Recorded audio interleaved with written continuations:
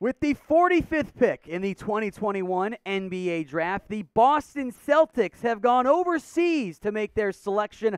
Juhann Begarin, the pick here in round two. He's from France, specifically more so Paris, although there's some hometown stuff in there as well. The Celtics' first pick of the night is a very intriguing one. I, am pretty sure it's pronounced Juhann Begarin. I've seen some Juhann Begarin, and I was basing everything on some French pronunciations, which is tough because it's not quite how I'm going to be able to say it. I'm pretty sure I'm pronouncing the name right. If I'm not, I'm I'm terribly sorry, and I, and I apologize for that one. But you guys care about the pick itself here.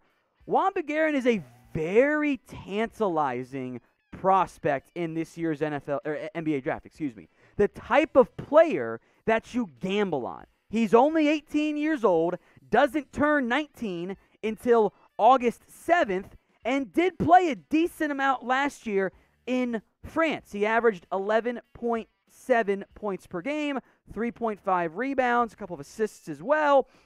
Decent, not great turnover numbers there. There's a lot of upside here with Juhann Begarin. I think the number one thing that's most intriguing about the Celtics pick of Begarin is what he could end up offering on the defensive side of the ball. He's a very good athlete. He is explosive and has tantalizing size. 6'6, 215, with a 7 foot wingspan and an 8 foot 9 inch standing reach. He's very long and frankly strong at 215 for a teenager who, you know, can't drink in America for a couple more years now.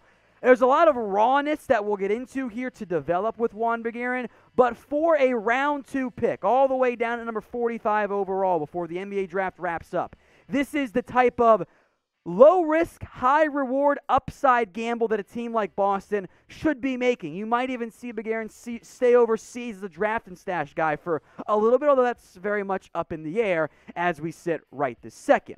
Now, this was the Celtics round two pick because they did not have a first round pick as part of the previous Kemba Walker Al Horford trade. Reminder on that one, and we'll go more in depth in it later on.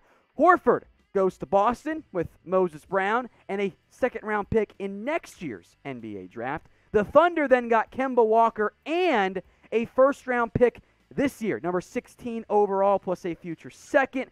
That pick, by the way, became Alperen Sengun, the big man who goes to the Thunder. So a lot of moving pieces there for the Celtics, but they make their pick here in round two, and they add a French guard, a wingman, if you will, in Juhann Begarin, who could end up being a nice little piece if they can develop and hit on him.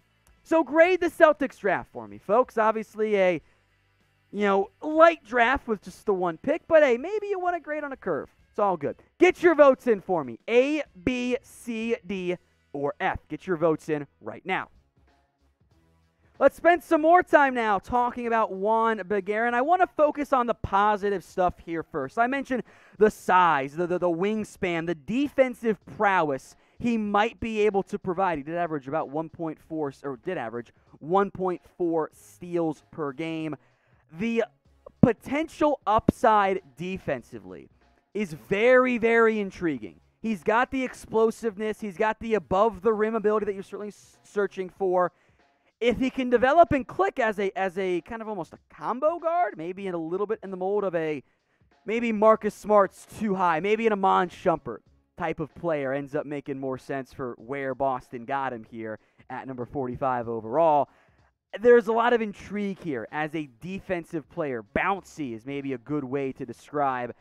It kind of almost plays like a running back at points. He's, he's so big and strong and willing to just attack downhill when he plays under control from that perspective. Now, the concern here, and, and you know, actually, I do want to mention one more thing. The shooting is okay. It's not elite. He made 34% of his catch and, th- and, and shoot three point attempts. Not bad. That's intriguing. But overall, this is a raw player through and through. There's a lot of development left to be done for Juhann Begarin. There's polish is not his game. Streaky might not even do it justice from a shooting perspective. 45.9% from the field. 36.4 from three is intriguing. The 64.1 from the free throw line is profoundly concerning. And while he does have the above the ability you're searching for in a potential slasher and driver at the guard position, he did not do enough uh, in terms of, of finishing consistently. He made just 50% of his shots at the rim on you know non-post up type of moves, which shout out the Athletic for this stat. Stat 86th out of 96 in the French second division with 50 such attempts. His his free throw form is not particularly good, and although he's an aggressive passer, which I like, Eh, there's too many turnovers. 2.3 points or, or, turnovers per game is a little bit high in a 33 game sample size this year over in Paris.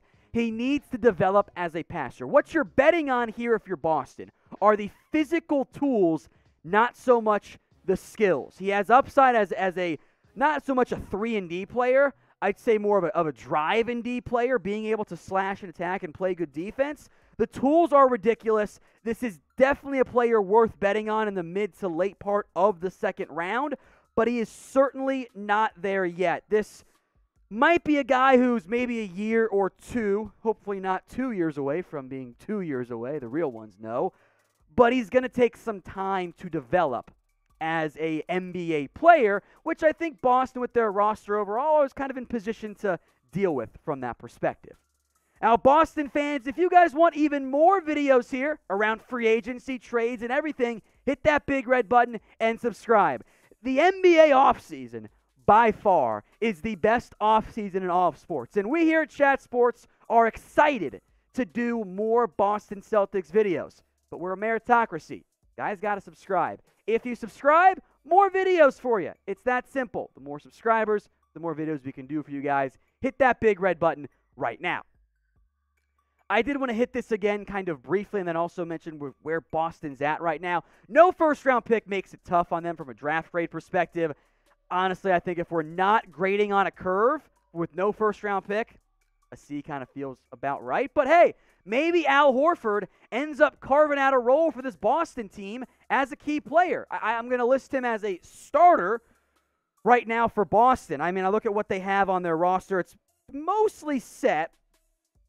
I think they need another shot creator in the backcourt. That's not going to be Juhann Begarin right now. That's maybe a key Evan Fournier and try and add somebody else via trade or free agency. But adding a guard made a lot of sense in round two. Maybe look for a depth piece, but Boston is kind of in this awkward position where they're just going to bank on Jaylen Brown and Jayson Tatum heavily. So before we go, let me know what you guys think. Are you happy with the Boston Celtics pick? Type in Y for yes you are, or type in N for no, you're not.